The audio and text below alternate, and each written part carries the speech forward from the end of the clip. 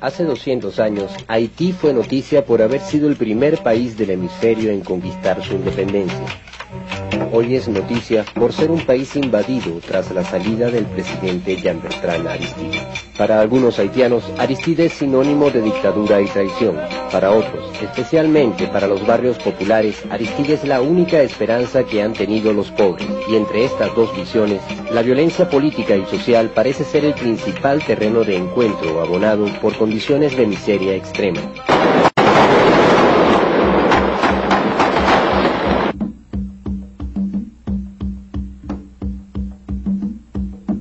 Para entender lo que sucede en Haití, hay que ponerse en el pellejo de los pobres más pobres de la tierra, los que no tienen comida segura, los que no tienen más combustible que el carbón de los escasos árboles que aún quedan en su país. La mitad de los haitianos no tiene acceso siquiera al agua potable. La mitad de los haitianos se encuentran desnutridos.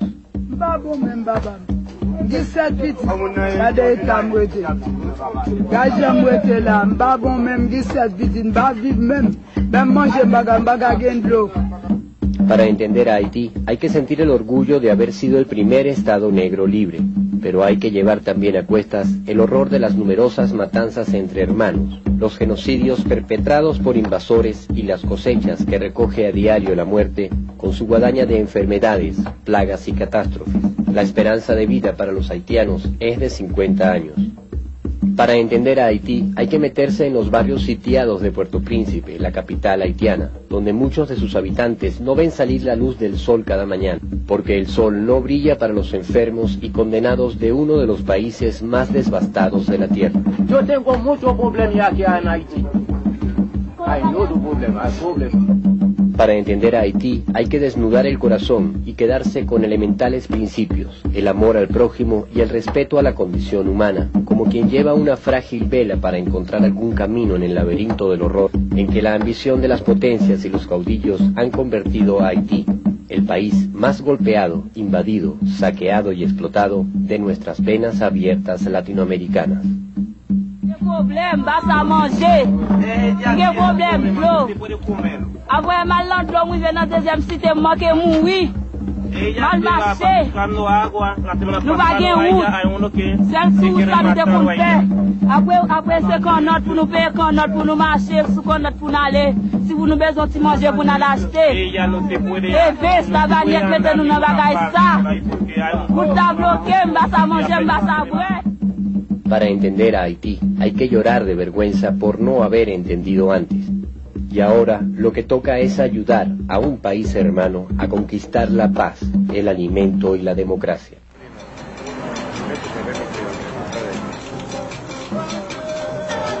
Puerto Príncipe, la capital de Haití, recuerda a los pueblos polvorientos y olvidados de una novela de García Márquez. En la zona comercial, bancos y tiendas tratan de abrirse paso como tenues desafíos de una modernidad que no parece alcanzar al resto del país.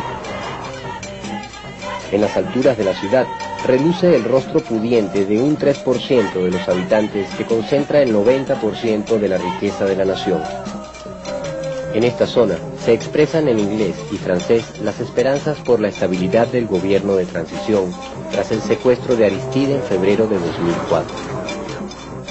Abajo, en los barrios populares, el clamor que recorre las calles es otro muy diferente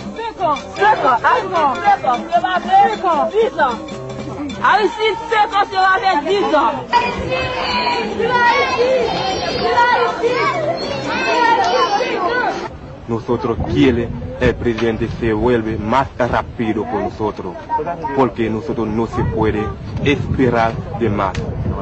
Vuelve, vuelve por favor presidente, nosotros esperamos aquí en Haití.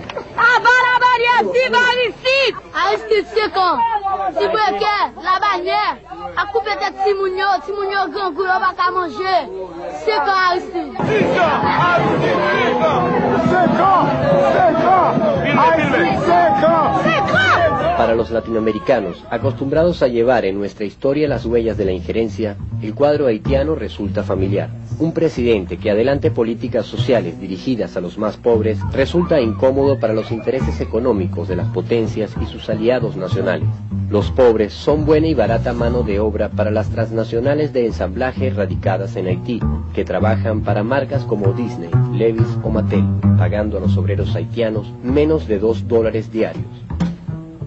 Por otra parte, Haití tiene una ubicación estratégica en el Caribe y muchos especialistas coinciden en señalar la importancia que para el gobierno de George Bush tiene el control de ese territorio como base para una eventual acción militar contra Cuba o contra Venezuela. Durante 30 años, esos intereses estuvieron garantizados por la extensa dictadura de la familia Duvalier, pero al caer Baby Doc en 1986, una oleada de cambios recorrió el país. En un barrio de Puerto Príncipe está ubicada la iglesia San Juan Bosco. De allí salió el sacerdote Jean Bertrand Aristide para convertirse en 1991 en el primer presidente democráticamente electo en la historia del país. Su compromiso con los pobres generó muchas expectativas sobre el bienestar social que podrían alcanzar los haitianos. Una política de aumento salarial, aranceles a transnacionales y guerra al narcotráfico provocó que a los ocho meses fuese derrocado por un golpe militar que encabezó Raúl Cedrás, jefe del Estado Mayor, con apoyo de la CIA. Aristide vivió tres años de exilio entre Venezuela y Estados Unidos hasta que el gobierno de Clinton decidió regresarlo al poder, custodiado por los marines, en 1994. De esa manera, Washington trataba de estabilizar a Haití para frenar el éxodo de balseros hacia las costas de Florida y respondía a la presión mundial por los crímenes de los militares en Haití, cuya cifra de víctimas se acercaba a los 5.000 muertos y desaparecidos. A su retorno al gobierno solo le restaba poco más de un año para terminar el mandato. En ese periodo disolvió el ejército haitiano por constituir una amenaza a la estabilidad democrática. Varios oficiales fueron condenados por las masacres cometidas. En 2001, Aristide vuelve a postularse y ganó por segunda vez la presidencia, pero el movimiento Lavalas no era el mismo después de haber sufrido la deserción de varios cuadros importantes. El inicio de su segundo mandato estuvo signado por un clima conflictivo promovido por una oposición con muchos recursos y apoyo en sectores medios, pero sin tanto arraigo en las clases populares los jefes de la oposición veían peligrar sus intereses ante las medidas de aumento salarial y la negativa de Aristide a privatizar las empresas del Estado. El lenguaje de Aristide tampoco era aplaudido por la clase dominante. En el panorama internacional, los demócratas habían salido del gobierno de Washington dando paso a los republicanos de tradición más intervencionista, encabezados por George Bush. Sus planes para Haití estaban trazados y no incluían Aristide ni el respeto por la soberanía de ese país.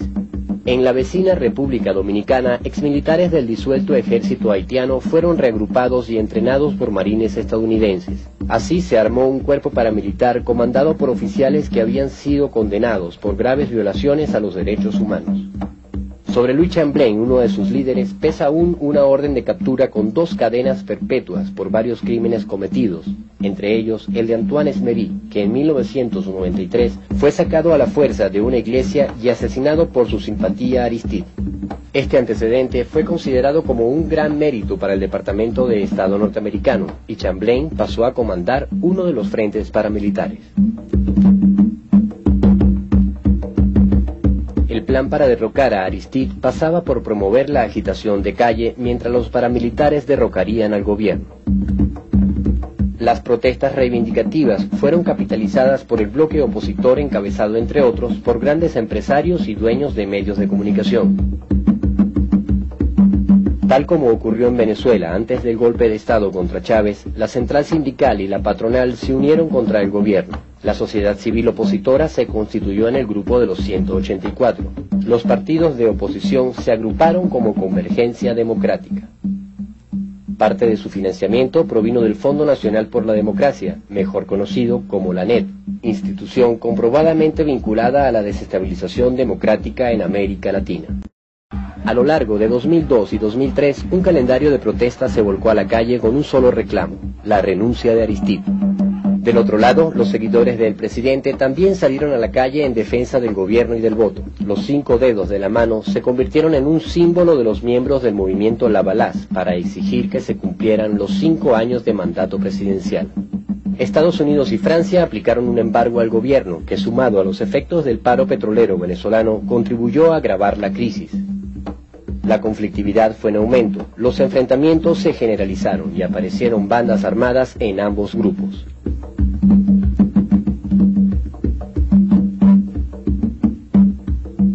Entraron en escena los antiguos militares tomando tres importantes ciudades del país y provocando verdaderas... En Puerto Príncipe, grupos armados pro Aristide denominados Chimers levantaron barricadas en los barrios populares contra el golpe a la constitución que veían venir. Los antiguos militares no se atrevieron a llegar a la capital. Este era un trabajo del que se ocuparían los profesionales. Es el tiburón que va buscando es el tiburón que nunca duerme, es el tiburón que va acechando, es el tiburón de mala suerte. En febrero de 2004 entró en juego la operación Mañana Seguro del Departamento de Estado norteamericano. Enviaron tropas con la excusa de proteger su embajada y brindar seguridad al gobierno y las instituciones. Ante la inminencia del desenlace planificado, Francia desaloja a sus compatriotas. Roger Noriega y Otto Reich ya habían hecho su aparición de la mano del embajador norteamericano y el 29 de febrero se consumó el secuestro.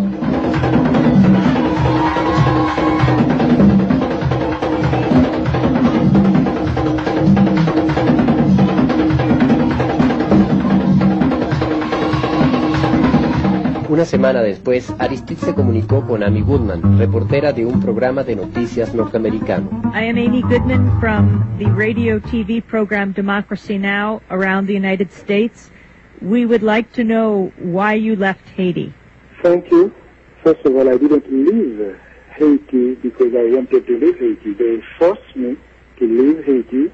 It was a kidnapping which they call coup d'etat or for some others nothing else than uh, something which uh, is resignation. For me, it wasn't a resignation.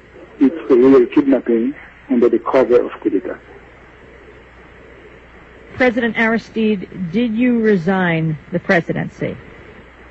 No, I didn't resign. Uh, let me tell you, we spent 20 hours in the American plane with American soldiers, including 19 American agents who had an agreement with the Haitian government to provide security to us. What do you want to happen now? I always call for peace. Those who realize their kidnapping cannot bring peace with their violence in my country. CARICOM, which means all the heads of all the Caribbean countries, call for peace and restoration of constitutional order. Do you want to return as president to Haiti now? If it's possible now, yes, now. Whenever it's possible, I am ready because this is what my people voted for. Los latinoamericanos debemos vernos en el espejo haitiano. Allí, la dominación imperialista, adoptando un nuevo modelo de intervención, manipuló las diferencias de un pueblo a través del financiamiento de la violencia, la guerra de desinformación y el secuestro, atentando contra la Constitución y la democracia y desconociendo el voto de una gran parte de la población. Un método que triunfó en Haití, al menos por ahora.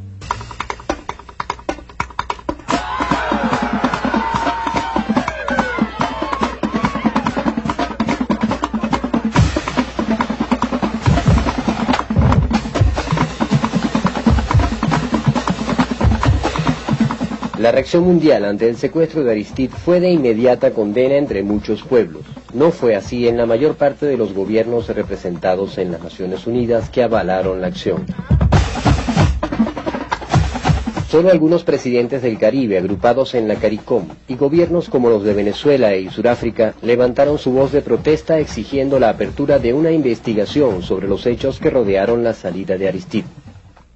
En lugar de una investigación, las tropas de los Estados Unidos, bajo la figura de una fuerza multinacional, causaron cientos de bajas entre los seguidores de Aristide y salieron de Haití dejando una misión de paz de las Naciones Unidas, la MINUSTA. La MINUSTA es una mm, fuerza que se ha constituido durante los últimos cuatro meses y que aún no llega a estar totalmente desplegada en el territorio haitiano.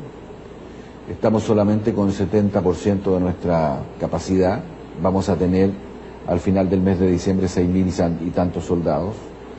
Y naturalmente nos ha tocado enfrentar una situación no solamente de dificultad por la violencia que hay en la sociedad haitiana, sino que también nos ha tocado enfrentar situaciones como la del huracán en Gonaïv, que fue particularmente violenta y dolorosa con más de 2.000 muertos. Por lo tanto, esta misión tiene una tarea muy difícil, pero sentimos de que hoy día que ya tenemos, como digo, 70% de nuestra fuerza, estamos en condiciones de enfrentar el desafío y yo pienso que las condiciones de seguridad no solamente van a mejorar, sino que han mejorado hasta ahora, desde que uno parte desde el mes de septiembre cuando se produjo la ofensiva principal para desestabilizar el régimen. Con la MINUSTAH llegaron el armamento y las tropas, pero después de cuatro meses la comunidad internacional no había enviado aún el financiamiento prometido para combatir el hambre y la miseria del país. Bueno, la comunidad internacional ha comprometido 1.300 millones de dólares con Haití en la conferencia que se realizó en Washington en julio pasado. Esos fondos, como sucede a menudo, eh, tienen que operacionalizarse a partir de proyectos que tienen que ser preparados por el gobierno haitiano y tienen que ser financiados por la comunidad internacional. El proceso de preparación de esos proyectos ha sido mucho más lento de lo esperado, el proceso de aprobación de esos proyectos también ha sido más lento del esperado. La imparcialidad de las Naciones Unidas es cuestionada por muchos haitianos que la ven apoyando a un gobierno impuesto por Washington y Francia que no fue elegido por ellos y que actúa en la misma dirección que los paramilitares al ocupar los barrios por la fuerza y combatir a quienes claman por el regreso de su presidente. Un joven haitiano que resultó herido por uno de esos enfrentamientos accedió a declarar pero sin mostrar su rostro por temor a represalias.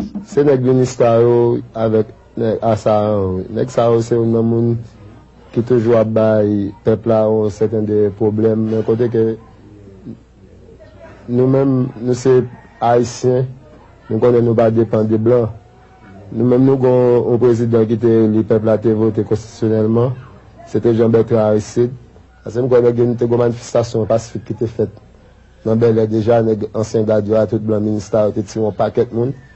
Gen moun yo te telman tire yo, vat kara ve, yo, te sere yo, nan ve 6 26, 10 ou devin pou moun sa ou. Jou sa, nou te go yon paket zan, nou te fwape, blan minister, te vin leve yo, tout talba yo, swen, kote ke. Moun sa ou gari ve gen la vi.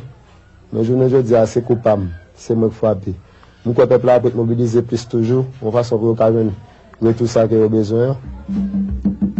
Después de nueve meses del secuestro de Aristide, la paz prometida por las Naciones Unidas y el gobierno transitorio no es tal paz.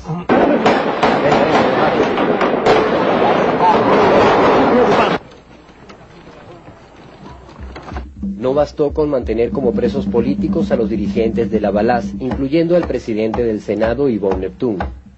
No bastó con sitiar los barrios.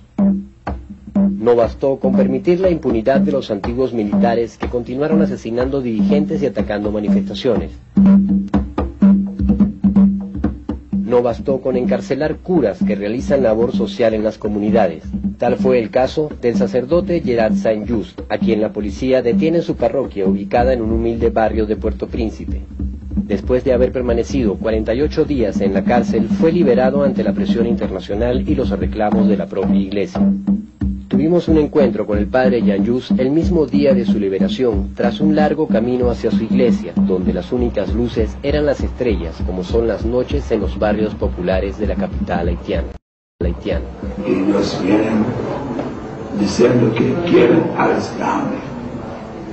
Y yo dije, ¿por qué? No es la manera de entrar en un apartamento de la iglesia policías eh, que, que tengan más carga y eh, querían ir de iglesia a iglesia para arrestar sacerdotes. El compromiso con los pobres es la opción teológica elegida por muchos sacerdotes como el padre Gerard Sanjus, que realiza misión evangelizadora en los barrios más apartados. Esa opción por los pobres es un delito que no perdonan los poderosos y que en el caso del padre Gerard le costó la cárcel. Yo he encontrado en prisión muchas personas que estaban ayudando a los pobres en Bel Air, Cité Soleil, o, o, otros sitios y estaban eh, muriendo en, en, la casa, en, casa, en la cárcel. No es bueno. Segundo, el pueblo tenía un programa muy importante para alfabetización. Esa era muy bonita Es, eh, eh, eh, eh, le quiero so much escribir su nombre, aprender en la escuela. Este gobierno de facto ha acotado todo y ahora tenemos una situación muy mala, muy mala. La economía no existe, la represión es la única cosa y está matando a un pueblo inocente.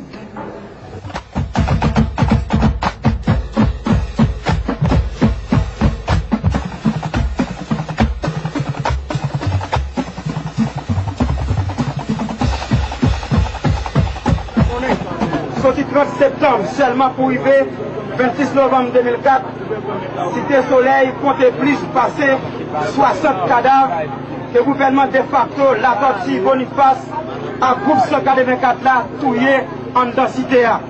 Oui, Emmanuel Sotsi, pandan se tan se tan masap de san din la kay mwa pou din di maman la alek balde san APM, avi pandan se tan mdane bo, mdane bo la, le ou mdi mne pitit mwa tombe, Mwen mwen kou yon male, gase yo pati ke mwen leve, yo leve yo. Le yo leve li, mwen gade mwen son bal li konan bon goche li, bon isik li, bal la travesse la bon vap li. Oui, Emmanuel mwen soti. Mwen bakon esi la ponsoye, vase mpa wel, mpa wel, yala vel, bakon an ki l'opital yala vel, bakon ki kote li. Bon, mwen mwen kounyan mwen piti mwen kote, mpa wel li, mpa konen kote li, mpa konen kote. E bon, je konen.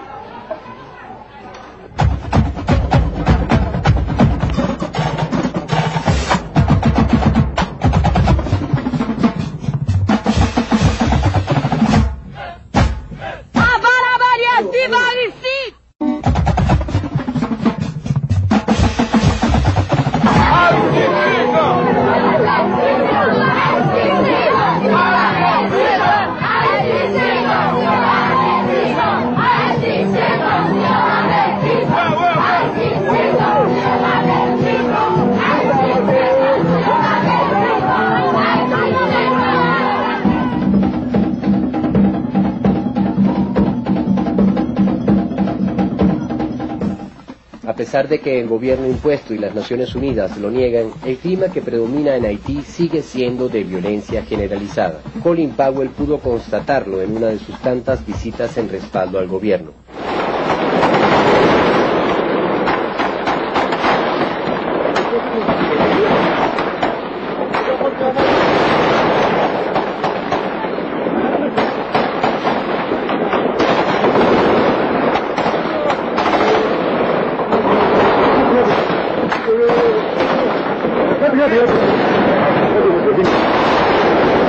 La octava visita de Colin Powell en el año 2004 a Haití fue suspendida por los enfrentamientos entre la guerrilla pro-Aristide y las tropas del gobierno y la MINUSTAH. También fueron suspendidas las clases en una escuela que sufrió las consecuencias del enfrentamiento.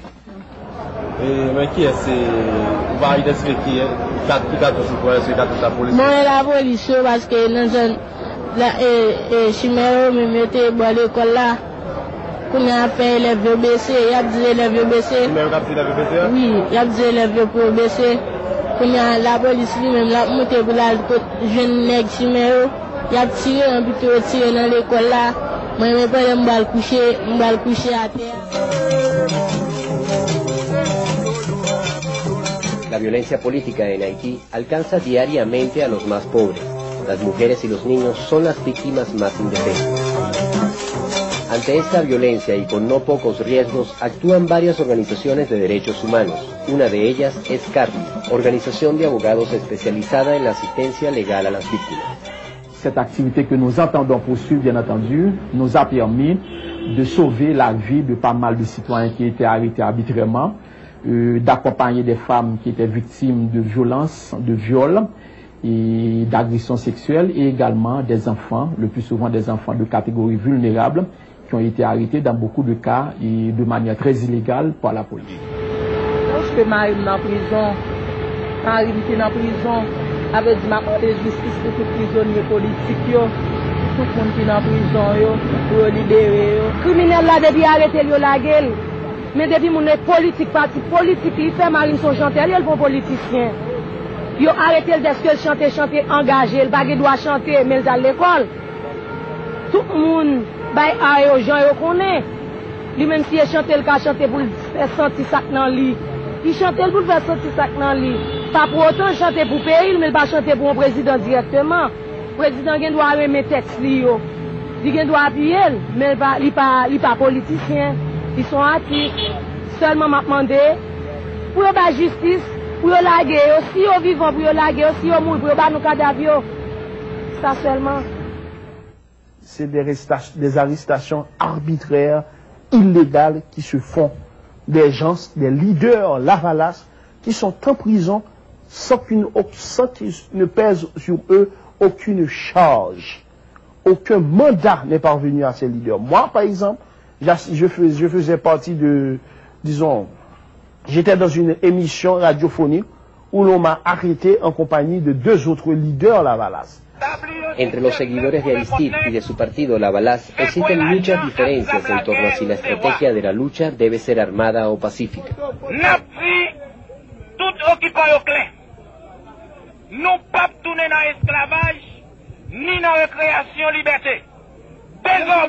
la. En el corazón de los barrios populares y en caseríos aledaños a las ciudades tienen sus bases los movimientos de resistencia que propugnan el regreso de Aristide, otra realidad que oculta el gobierno calificándolos como bandas delictivas sin ningún móvil político. Allí pudimos grabar una de las pocas declaraciones públicas ofrecidas por este movimiento. Mouvement Résistance Base Populaire, mercredi 1er décembre 2004. Conférence pour la presse. Nap sa li la pres ekri, pale ak televize ki repon prezant ak invitasyon sa. Apre plizye chita pale, nou men, base rezistans popile yo. Jene jodi ya, sa nou konstate, nou re fos fe noy yo, vle eten limye demokrasi ya ki se sous la pe pe parisyen. yo. Nou men, nan base rezistans popile yo, nou ve fè yon rappel ak sekte profesyonel yo, etudyan, ouvriye, simachan, syndikalist, chomè, catholiques, protestants, agrodouisants, il a. Je ne veux dire, nous avons un changement, décidé à toute fonction pour détruire rêve classe défavorisée, qui c'est? Travail, l'école, la santé, l'eau potable, électricité, réforme agraire, tant que Jean Président démocrate là, Jean-Bertrand Aristide te commencé là. Meses atrás, las tropas norteamericanas utilizaron un supuesto reportaje para guiar una incursión donde muchos miembros de la resistencia murieron. Por eso no se nos permitió grabar el lugar con la cámara, pero fuimos testigos de una realidad negada por las Naciones Unidas la existencia de un ejército popular con miles de personas, armados algunos con fusiles y pistolas que habían sido de la policía, pero la mayoría con machetes, piedras y palos, decididos a seguir luchando organizados bajo una sola consigna, el regreso de su presidente.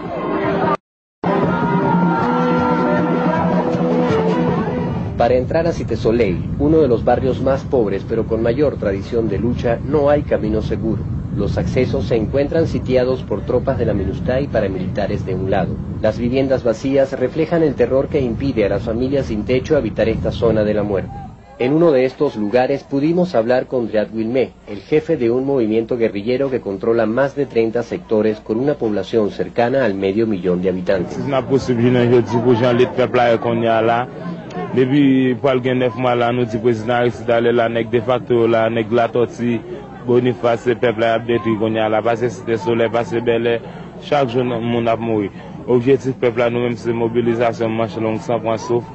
ou ba ouman kote ke nou menm ap mande retou fizik prezident Aristide Haiti.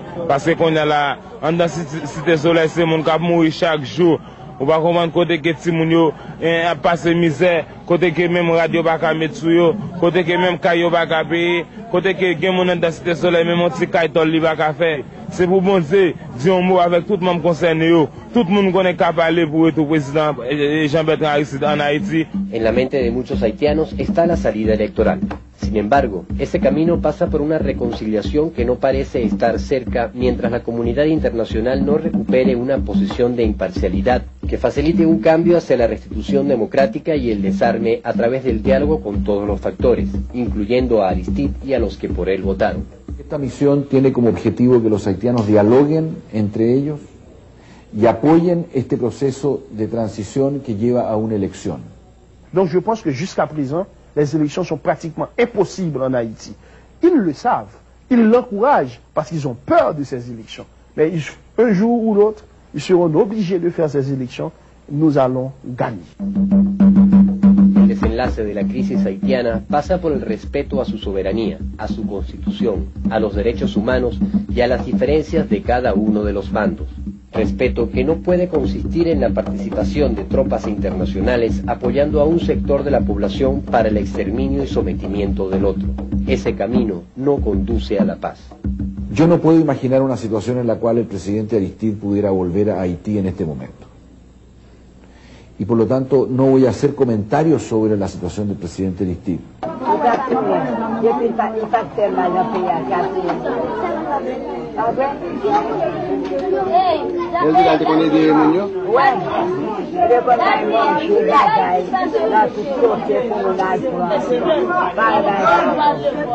El pueblo quiere mucho a su presidente.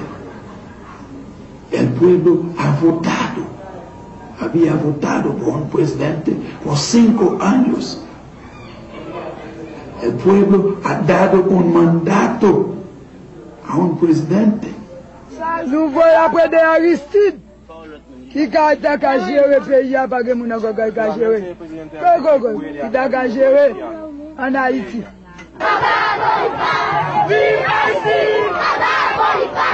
El presidente Aristide es vocal de la pobre, es vocal de la, de, la pobre, de la gente que viviendo en barrio. Y por eso que nosotros reclamamos de todo día es que el presidente se vuelve otra vez.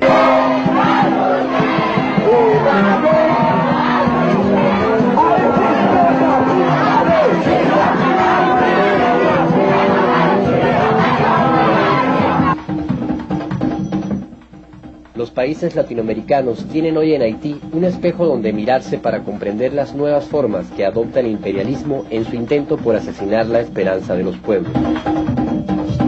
Financiamiento de conflictos, exportación de la violencia, bloqueo económico, guerra de información y secuestro de presidentes con el manso consentimiento de gobiernos hermanos.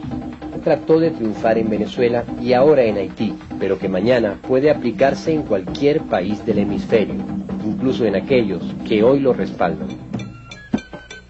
A tan solo 50 metros de la embajada norteamericana en Puerto Príncipe, la estatua de Simón Bolívar es testigo de la situación haitiana.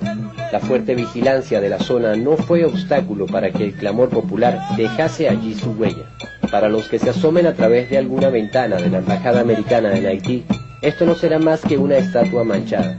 Pero para aquellos que entiendan el lenguaje de los pueblos latinoamericanos, esta imagen significa un llamado a la solidaridad con un pueblo que reclama paz, alimento y democracia.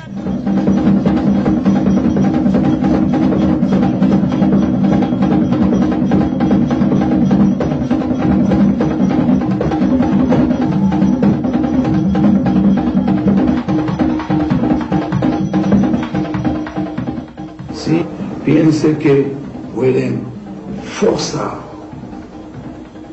en nuestra boca un gobierno eh, de, repre- de represión, el pueblo unido jamás